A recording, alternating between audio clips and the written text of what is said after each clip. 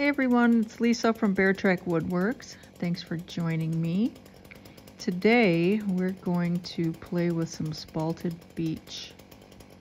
I picked up a trailer load full from a woman who had an enormous tree that they had to have cut down.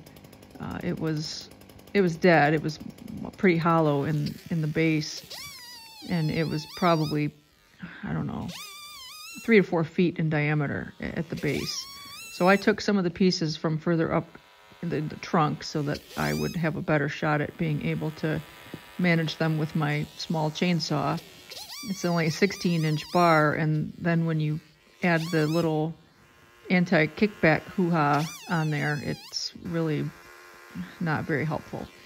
Um, and yes, I know that sawing directly into end grain is not the preferred method, uh, but at this point I didn't really have a lot of other options, so I will see what I can do about getting a hold of a, a larger chainsaw for situations such as these. When I bought this chainsaw, I had a 12 inch maximum capacity lathe, and this was fine, but now that I have an 18 inch capacity lathe, I want to be able to make some bigger bowls, and my chainsaw is uh, going to limit that a little bit.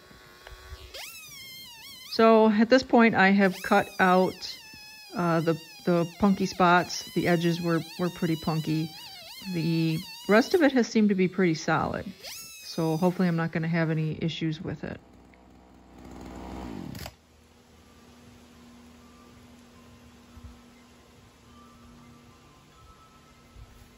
I went ahead and put it on the bandsaw and got it mostly round just because I could. Um, I got some longer stainless steel uh, sheet metal screws, number 12s, so we won't have any issues with the faceplate uh, letting loose this time. And if you missed that little bit of excitement, there's a link to that video in the upper right hand corner. You should probably go check it out.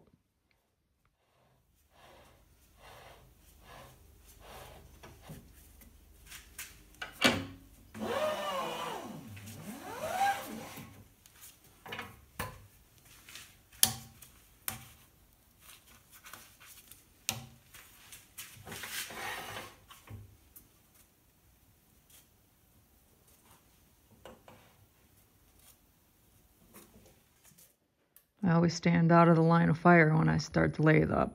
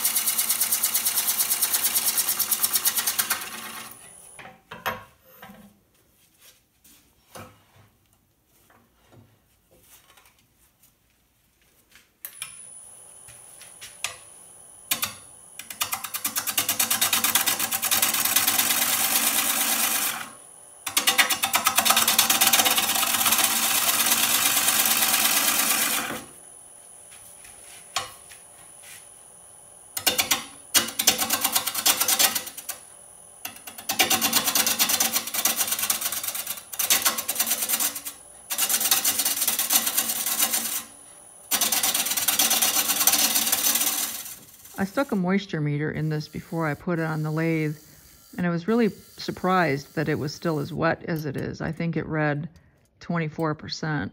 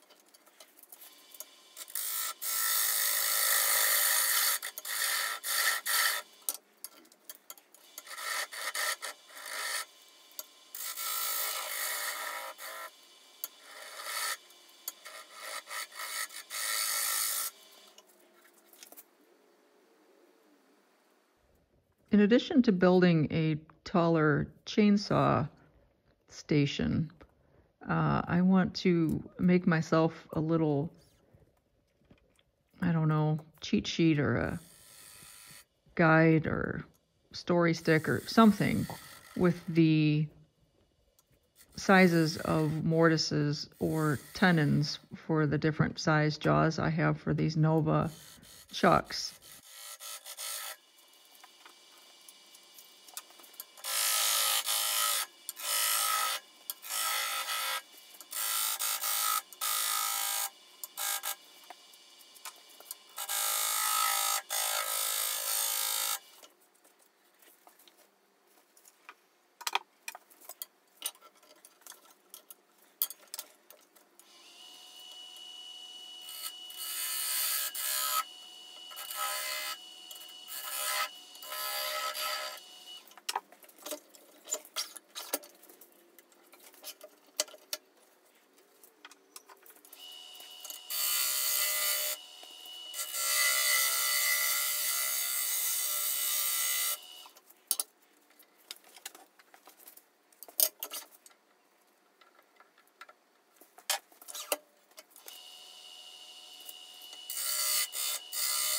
I decided to do a mortise on this bowl, but I didn't really have a shape in mind when I started it. And then uh, here I've decided that I don't think that I've got enough meat left there, at least not to make me comfortable. So I'm going to go ahead and cut a tenon on this and hold on to it that way. I don't know if the spalting or any soft spots in the wood would be an issue with the mortise, but I just decided that this would probably be the better way to go.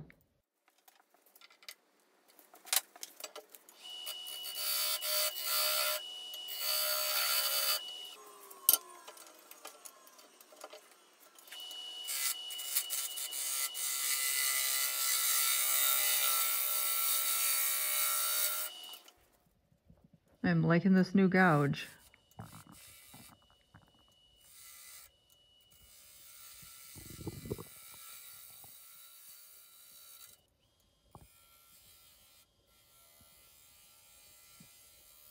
Got a pretty nice cut there. Not a whole lot of torn out grain at all.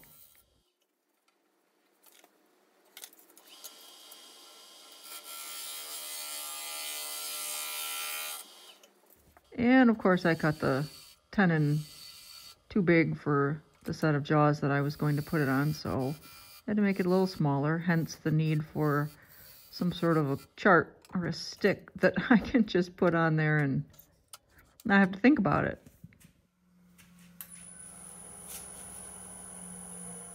Oh boy, I'm going to try a pull cut.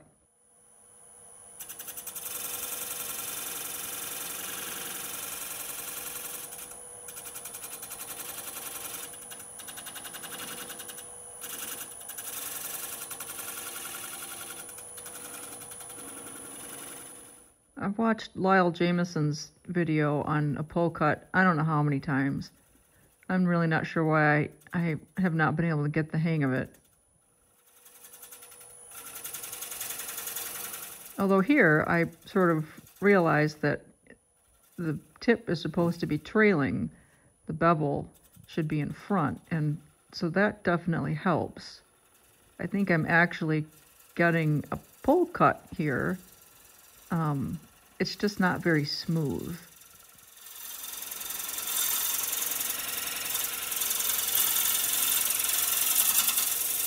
It actually left a really great surface, even on the end grain.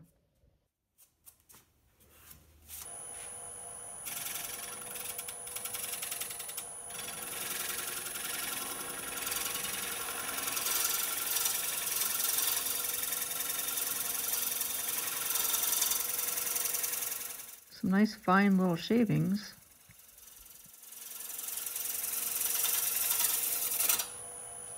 There's definitely some tool marks left, but that's by far the best pull cut I've ever done.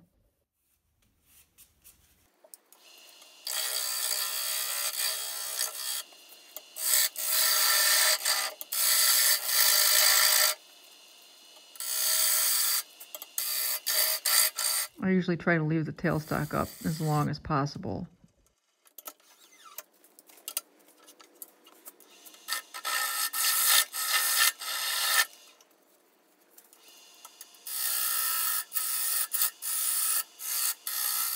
So the plan is to turn this green, just once turn it green and let it warp and hope that it doesn't crack. So I'm pretty happy with the thickness out at the edge here. I did have a chunk in the, taken out of the rim from one of the soft spots or the wormy spots because this was definitely wormy as well. So I had to take that out.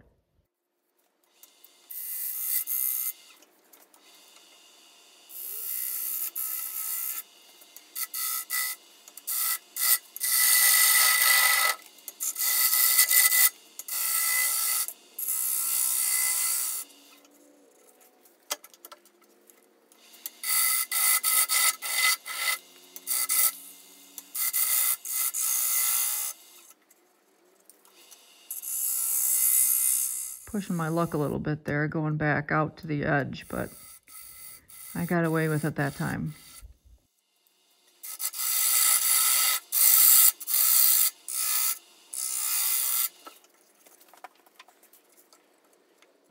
Super high-tech depth gauge.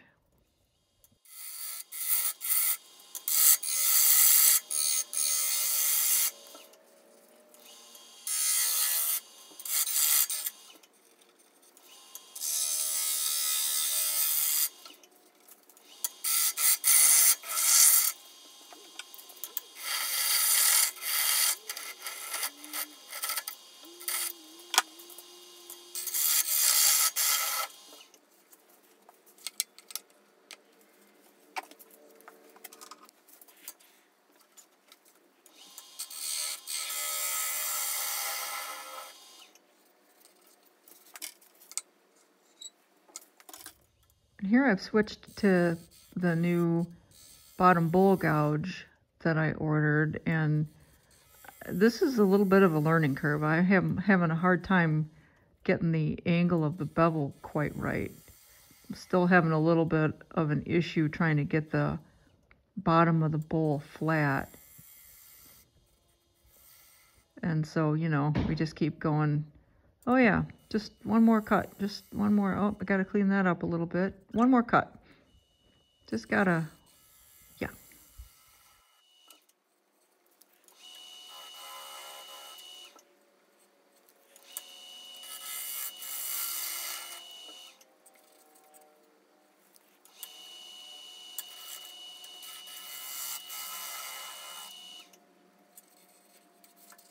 And we sand, and we cut all the sanding out because I don't really like to do it the first time, and I know you don't want to watch it.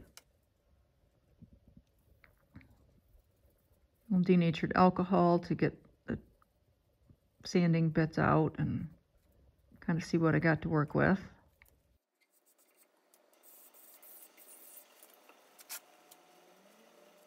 So one pound cut of shellac, used as basically a sealer.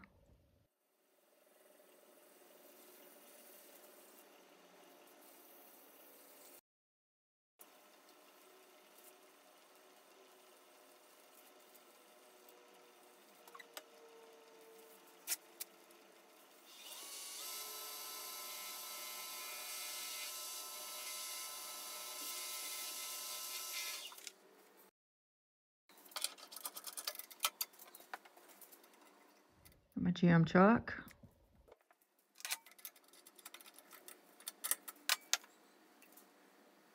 And some cushy bits.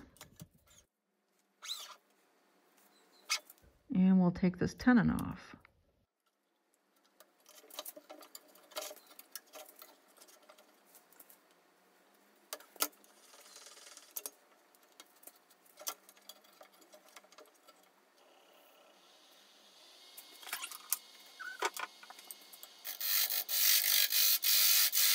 trying to take nice easy cuts.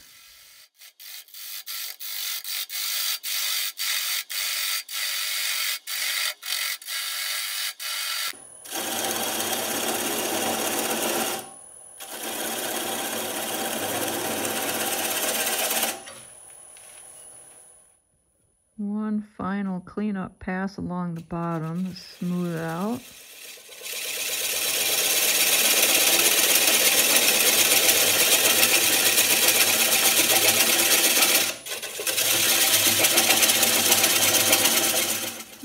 No, that's what I get. Just one more cut. It's got to get a little bit more. It didn't actually break the bottom out, but into a complete funnel, but it's flexing there. So I've decided this was a practice piece. I got to practice some chainsawing and I got to practice with my new tools and I practiced some cuts. And the more I practice, the better I'll get. So thanks for hanging out with me today, and an extra big thanks to all of my subscribers. I really appreciate your support. Everybody be safe out there.